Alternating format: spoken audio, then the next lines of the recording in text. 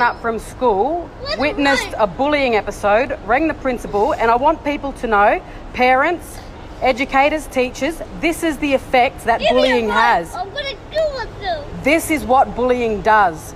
So, can you please educate your children, your families, your friends? Because all it takes is for one more instant, and you wonder why kids are killing themselves. Give me it right now. Freaking stab myself in the car. You watch me. Even you too, Carolyn, I'm looking at you. You don't even do anything. And Mrs. George got me the dumbest shit in the class.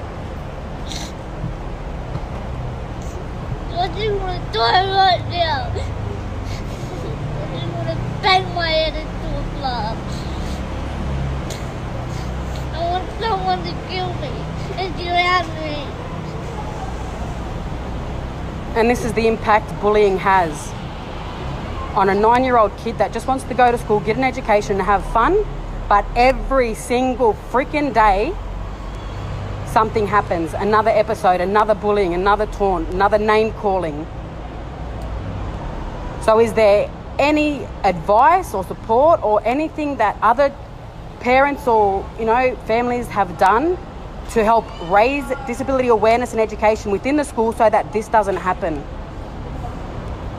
I've got some good advice, but I need more because I want to die. this is the effect of bullying. This is what it's doing. And I want people to know how much it is hurting us as a family. I want people to educate their children. The whole anti bullying shit isn't fucking working. And I've got a son that is suicidal almost every single day. Every time there's a triggering anything that happens at school or in public, which is almost every time we're in public and we're about to head into a shopping centre now. And I wish that I could record everything that every instant when we're in public or have a hidden camera so that people could see. And this is the side that I don't choose to share.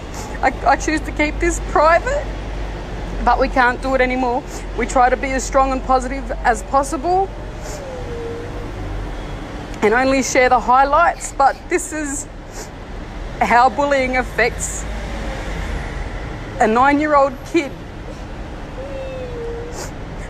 And I've got to constantly keep my eye on him because of the suicide attempts. This is what bullying does, people.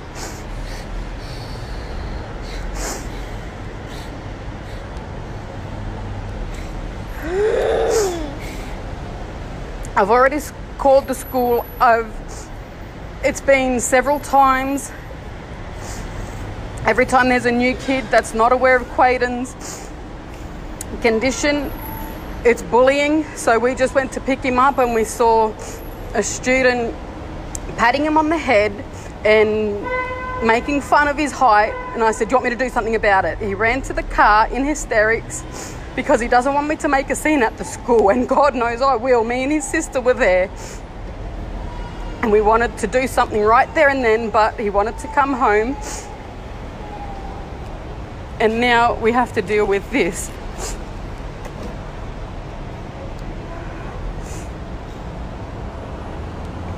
And I feel like I'm failing as a parent. I feel like the education system's failing. It is bloody hot as hell.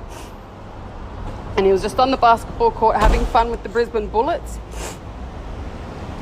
and it's the constant bullying, the name calling, like obviously pointing out his difference.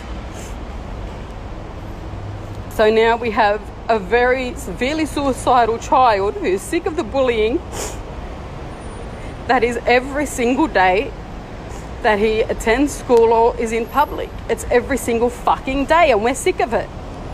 So I just want people to know and see the impact because this could be your child or your child could be the bully that pushes a kid over the edge and God forbid we lose another child to suicide because of the bullying.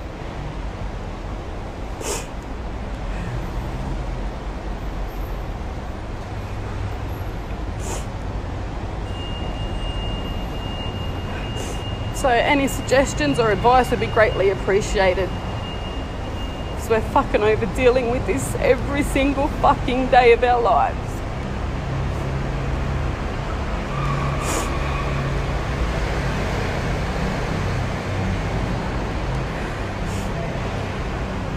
Anything you want to say before we go? I want to kill you, Carolyn. So the next person that does bully or harass or discriminate against him better watch the fuck out. I'm serious. This ain't no joke no more. You better educate yourselves and your family and friends. Start doing something more in your schools, in your families, in the communities about disability awareness and education because there is not enough, obviously. This should not be happening. This kid is with me 24 7. He lasted first term last year and was with me 24 7. Every single day, every single night, he's with me because of the issues that bullying is causing, the negative public attention, which is why we've chosen to be more private now. But there's no escaping it. This is our reality. This, you know, and it's like we have to get used to it. And I used to tell him, just ignore it. Well, no, fucking ignoring it doesn't solve the problem. How does that address bullying if you choose to ignore it? It needs to be addressed straight away. And that's exactly what I'm doing now. Every time it happens, I'll be doing a live video so that people know. So hopefully we can make some changes so that this doesn't happen to another family and hopefully we don't lose another young innocent life to bullying.